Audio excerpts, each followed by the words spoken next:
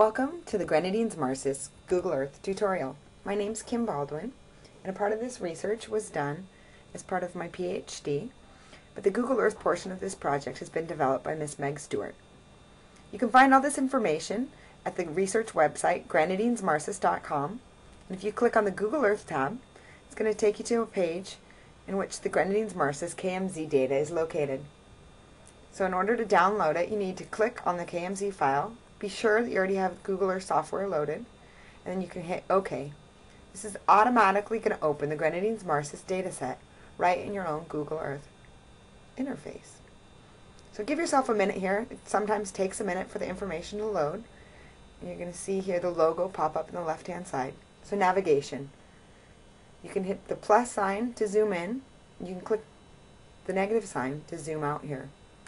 In order to get to a specific area, you can double click and it's going to zoom right in.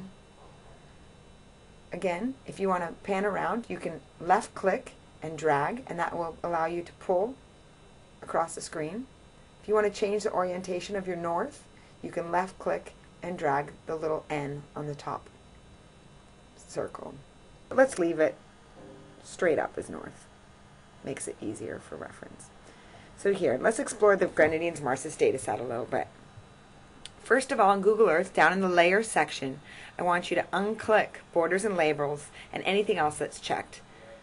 So you've turned off all the other layers. This just helps take away some of the clutter. So we can just explore the Grenadines MarSIS dataset. So under your temporary places, everything's going to be shut off when you first open the dataset. So you can see there's a series of folders which are the different layers of information. If you click the first box here, layers, it's going to turn everything in the entire data set on. And you can see this is an absolute mess. This is a little overwhelming. So I suggest that you click off the layers box and you're going to open the different plus signs next to the various folders to see the various data sets so that you can see that the data sets have been grouped already. Bathymetry, infrastructure, etc. So within each folder, you can click the plus sign to see what layers or the contents are within the folder. So if we explore marine habitats here, first of all, if you see something that's underlined, feel free to click it. That's a link. And that link here is a link to the marine habitat legend. So this is the classification scheme that was used in the MARSIS. You can see some pictures so you understand what we're talking about.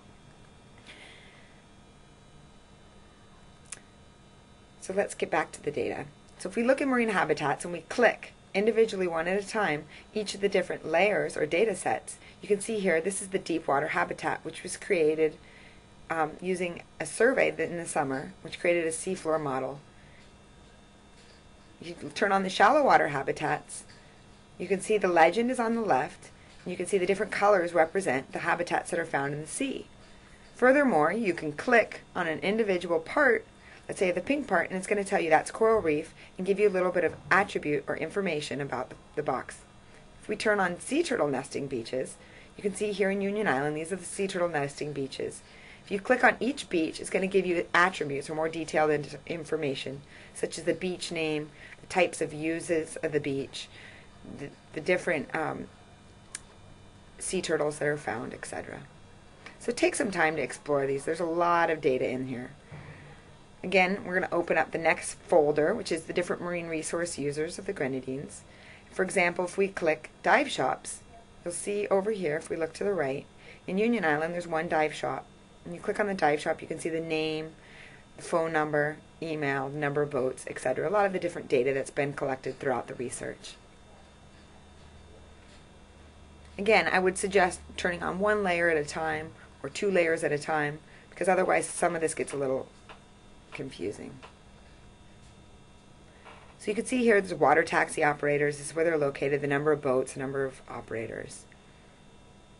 So if we close down marine resource users, let's open next folder, which is space use patterns. So you can see there's a variety of information such as shipbuilding sites, vending sites, historical sites, shipwrecks, dive sites. Let's explore shipwrecks here. Look to the right, there's a couple shipwrecks. If you click, you can see the name, again, the year the wreck was sunk, as well as a little description, whether it's a dive site. Again, we're going to open another, the next folder, which is threats. variety of information, illegal dumping, sand mining, desalinization outfalls, dredging areas.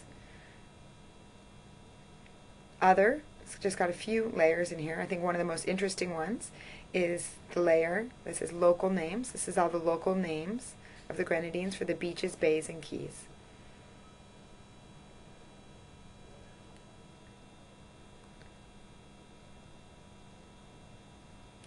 I think um, last but definitely not least is you'll see a folder that says photographs and videos. Now this are underwater pictures and video clips that were taken in the summer of 2009 for the Marine Habitat cruise which was undertaken to map the seafloor. So this takes a little while to turn on, so give yourself some time for the data to load depending on your internet connection. Once it has loaded, you can zoom in. You can see the various drop video camera sites or the ground truthing sites, which were taken with a still underwater digital video camera. If you click any of the points, you'll see here a photo comes up as well as underneath a short description of what the habitat is classified as and along as the depth and, and when the picture was taken. Drop camera is going to give you little video clips of the underwater video footage which was taken in the summer.